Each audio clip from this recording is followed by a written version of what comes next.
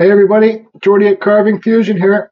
So I wanted to take a minute and talk about these little bits that I've been using actually quite a bit. These are cheap bits. Uh, they come from China. They're, you see there, there's a name for them, but I don't care. I call them the three-point cutters. So there's three, one, two, three. These bits are pretty cheap. Like you get, um, I think you get sets of five for like 10 bucks there in my Amazon store. I'm not trying to get you guys to buy them, okay? I'm going to leave a link below. It's so it's easy for you guys to get them in America. You know, if you bought the, if you bought one of these sets on my Amazon store, I'd probably make 1.5 cents. Anyways, just letting you guys know, I'm not doing this for me. I'm doing it for you. So these burrs, you know, they're super awesome and they cut through wood awesome. But the only problem with them is they're not. They don't stay sharp long. And you guys have seen me use them on lots of my videos. I'm even carving real wise with these burrs. Well, as real as I can make them look with these burrs. My good buddy Just Carve Rob over there, Just Carve Rob Shop, told me how to make these burrs stay sharp. And he showed me. So I'm going to show you guys what I do. I get a torch. I heat them up hot with any, everybody, if you're not familiar with torches and fire and stuff like that and heating steel, just be very careful. Do it outdoors in a place where it won't catch your house on fire or your carving area on fire. But you get some oil. I used canola oil. You just it's just like forged in fire. You heat it up really hot and then you dip it in the oil. So I'm going to show you guys quickly, but don't do it because I say you should do it because I don't want you catching your house on on my on my my uh, word. So anyways, this is just a suggestion. So here it is.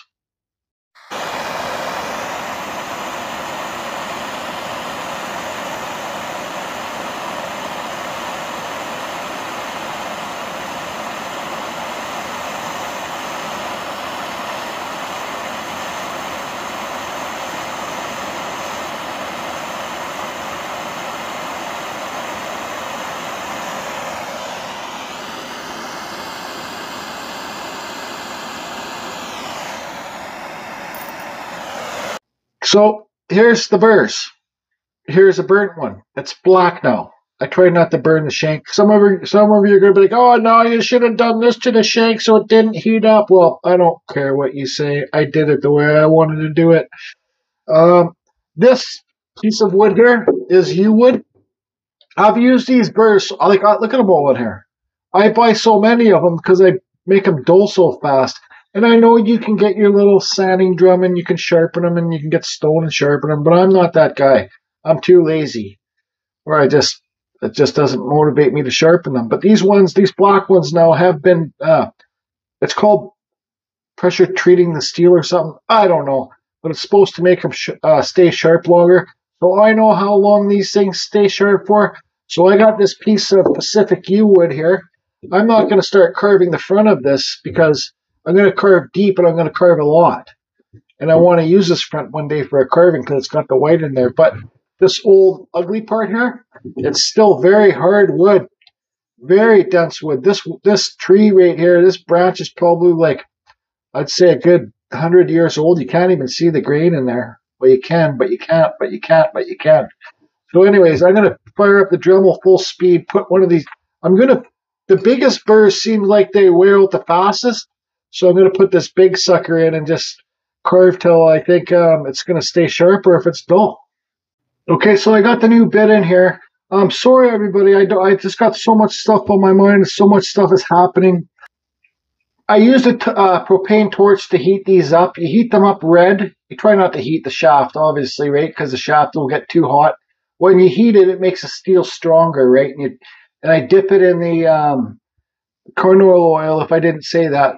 But let me get turn the fan on and I'm going to start carving heavy with this uh, yew wood and see how sharp this this uh, these burrs are more like I'm carving with Electra uh, chisels. They're carving with chisels, but you got power.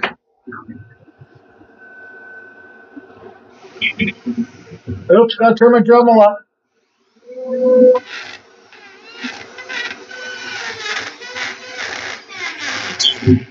And these burrs, you definitely don't want to get hit by them. I, I remember like a couple weeks ago, it hit me on the nail right here. It's just growing back in right now, but it went, it just took the whole nail off right away.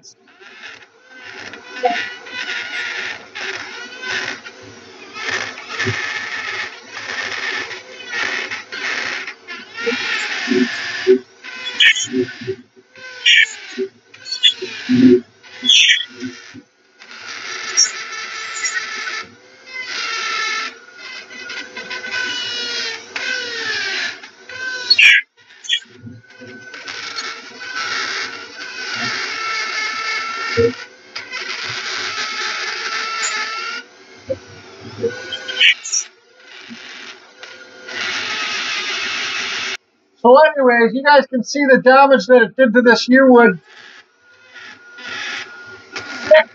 When I'm carving, this thing wants to bounce back this way, bounce back this way, right? So I got my hand, boom, it will slide right off. Because if I go like this, it will hit my hand. So anyways, there you can see how much it's done in the wood. And it's still like, if I didn't heat treat it, this would already be dull carving this hard uh, yew wood like this.